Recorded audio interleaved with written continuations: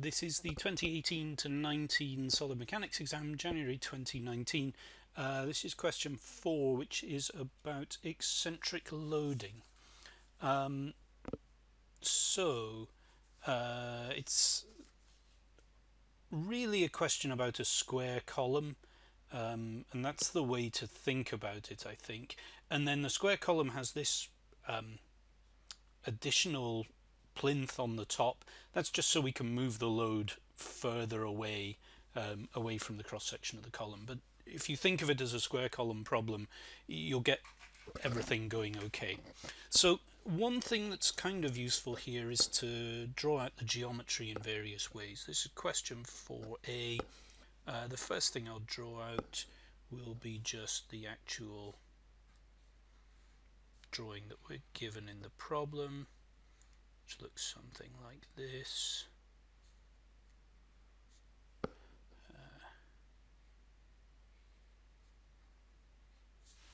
um, I guess that's good enough. It's not a wonderful drawing, and there's some kind of a plane AA through here. Um, let's just mark it like this.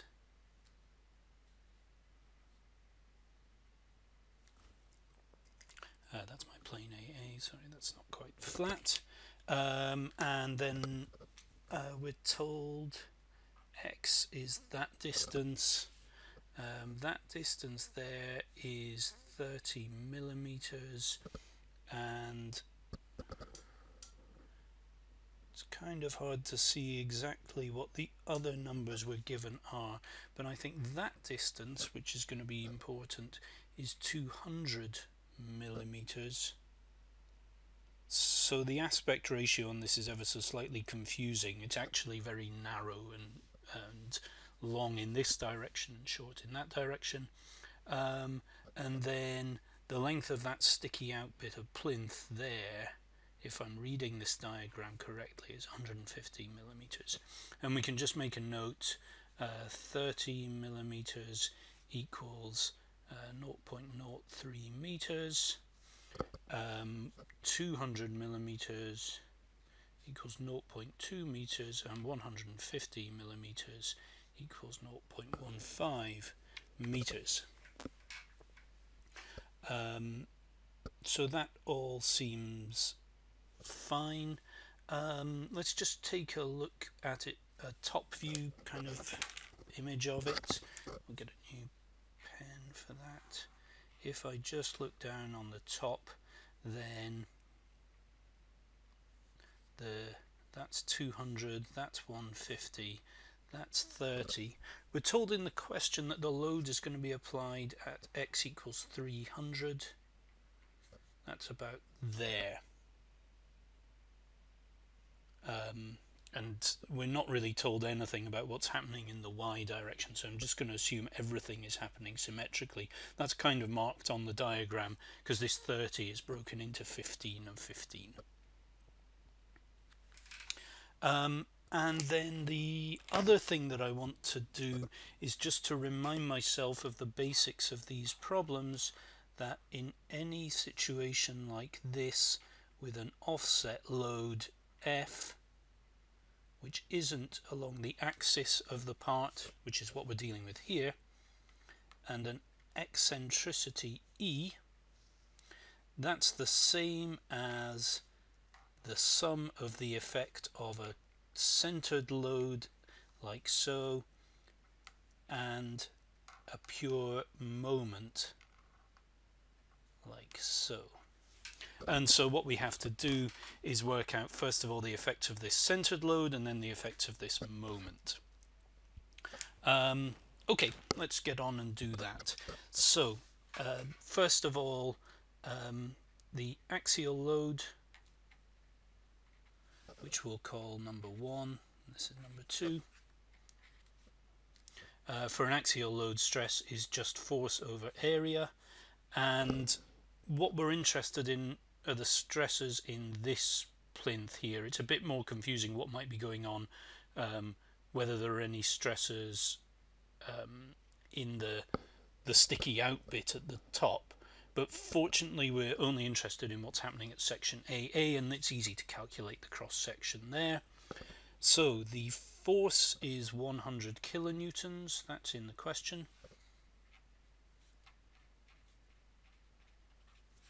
Um, 100 kilonewtons is 100,000 newtons and the area is the area of that cross section at AA that's that area I'm shading there. So that's 0.03 times 0.2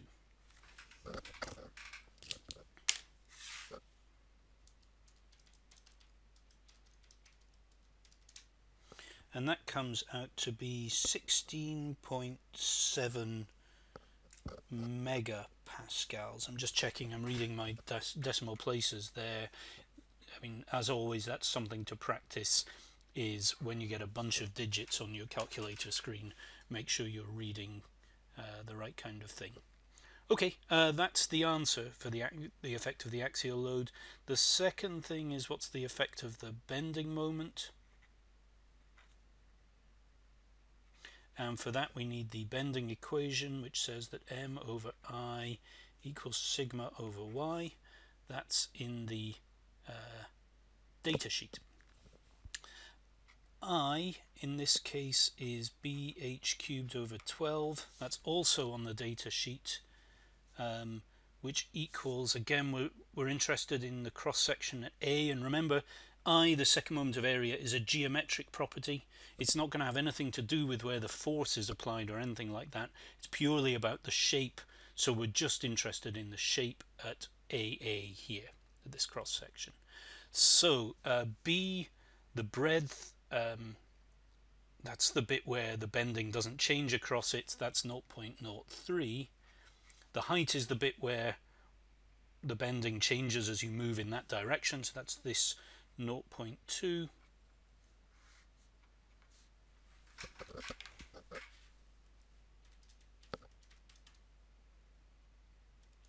and when I put that into a calculator I get 2 times 10 to the minus 5 meters to the power of 4 um, okay so I know I and rearranging this I get sigma, the bending stress, equals my over i. And in turn, we know that the moment is the force times the eccentricity times y divided by i. Um, y here is the distance from the neutral axis and again if we just consider the cross section at AA the neutral axis of that goes down there. So I think one of the things that's going on with this question is, that, that makes it more complicated than it might otherwise be is you have to realize quite early on that we're really looking at the rectangular cross section at AA for pretty much everything. This extra bit of, of plinth sticking out at the top uh, on the bracket is kind of a red herring here. Okay, let's keep going with that. Um, the stress due to bending sigma equals F, which we know is 100,000, times E. The eccentricity, um, right, we just need to think about the eccentricity. I'm, I'm just going to redraw the diagram we had earlier on. We've got loading somewhere out here. Um, so this length here is 0.2 this was a shaded area indicating that that's the region AA um, this length here is 0.3 that's in the question. The load is applied at 300 millimeters. Um, and the final thing to think about is in our cross section the neutral axis is halfway across it so it's at 0.1 so the distance from the neutral axis to the load is going to be 0.2 meters. It's this 0.3 minus this 0.1. Uh, sorry, uh, that's the distance from the neutral axis to the load, which is the eccentricity. It's not y. y is the distance from the neutral axis to the point at which you're measuring the stress, which is going to be this length here, which in turn is 0.1 meters. So you've got to be careful with what's the eccentricity here and what's the distance from the neutral axis to the point at which you're measuring the stress. The maximum stress on that cross section at AA is going to come at the very edge of the shaded area in this problem.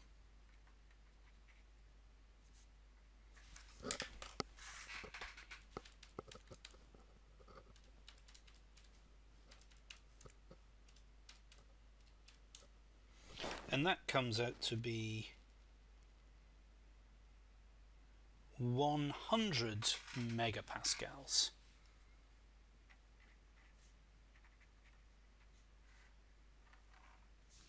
And that kind of makes sense um, when we're dealing with kind of rectangular loading problems. Um, the bending moment and the um, axial load are often quite similar but here we've moved the the axial load a long way across um, away from the central axis.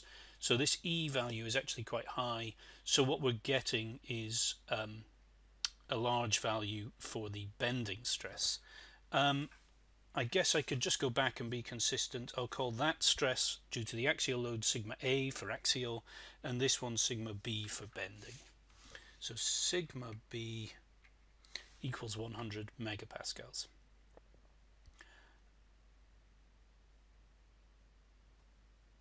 Okay, um,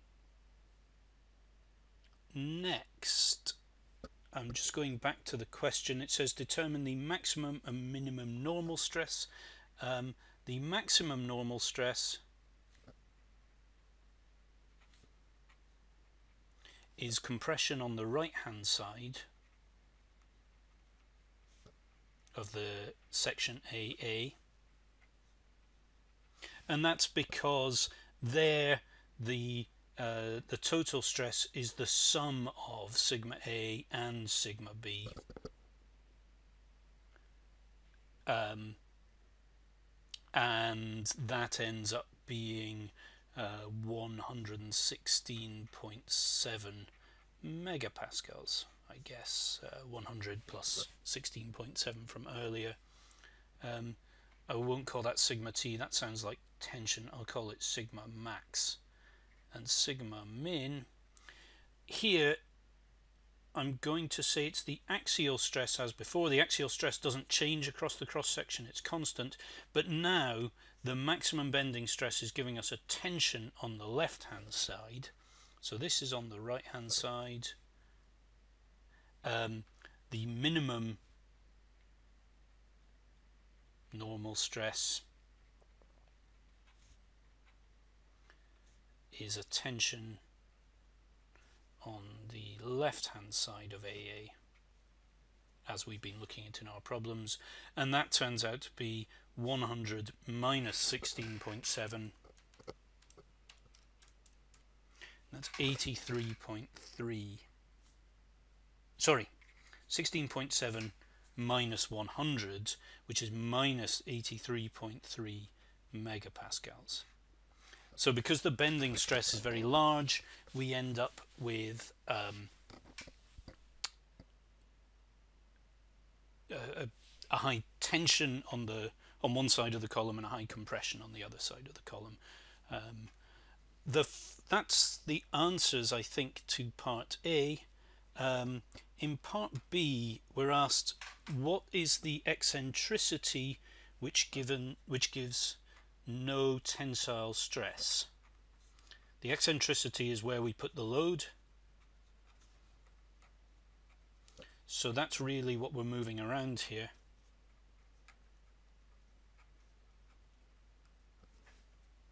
And if there's no tensile stress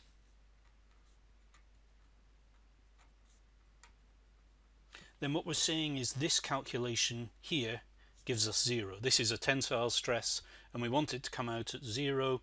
So for no tensile stress we need sigma A equals sigma B. Um, sigma A doesn't change as we move the load around but sigma B will and so we need um, sigma b, the bending stress maximum is 16.7 megapascals. So 16.7 times 10 to the 6 equals 100,000, we can't change the load, times E times, because the eccentricity is what we're changing here, times 0.1, we can't change the dimensions, so the distance to the point from the neutral axis to the point of maximum um, stress, this value here, y, that's not going to change, and I, the uh, second moment of area, also isn't going to change. And so that means that E equals 16.7 times 10 to the minus 6 um, multiplied by 2 times 10 to the minus 5 sorry that's plus 6 there divided by 100,000 times 0.1 16.7 times 10 to the 6 times 2 times 10 to the 5 sorry 16.7 times 10 to the 6 times 2 times 10 to the minus 5 divided by 100,000 divided by 0.1 comes out to be 0.0334 meters. Uh, that's 33 millimeters.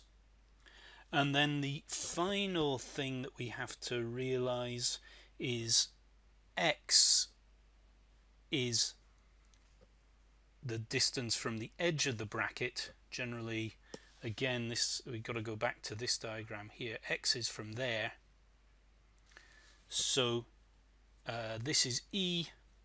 E equals x minus or sorry x equals e plus 0.1 um, all we're saying here is uh, I'll do a drawing in a second that'll make it clearer I guess. Let's just finish this. Uh, so x equals 0.133 meters I'm going to say rounding it to three significant figures and that's my answer if the load is 0.133 meters from the edge then um, there will be zero tensile stress on the left hand side of things at A. Um, I'll just do that diagram quickly. Uh, this was the it's never a bad idea to draw out the same diagram over and over and over again. Um, just keeps things clear in your mind. So we know this length here is 0.03 uh, but the important things now wherever we put the load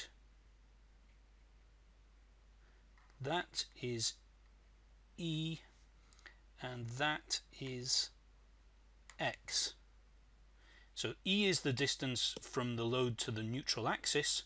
X is the distance from the load. Sorry I'll bring that arrowhead further out so it's clear where it is. Uh, x is the distance from the load to the left hand edge. And we know that length there the distance to the neutral axis is 0.1 so we can say x equals e plus 0.1 which is what we used at the end of the question there just to go from having calculated the eccentricity to having calculated the um, uh, the actual answer that was required in the question and I think that's a complete answer to that question. Uh, so I would say that is one of the shorter questions on the paper and one of the more standard questions. But obviously that, that bit of um, extra material at the top of the rectangular column makes it slightly hard to get started on, I think.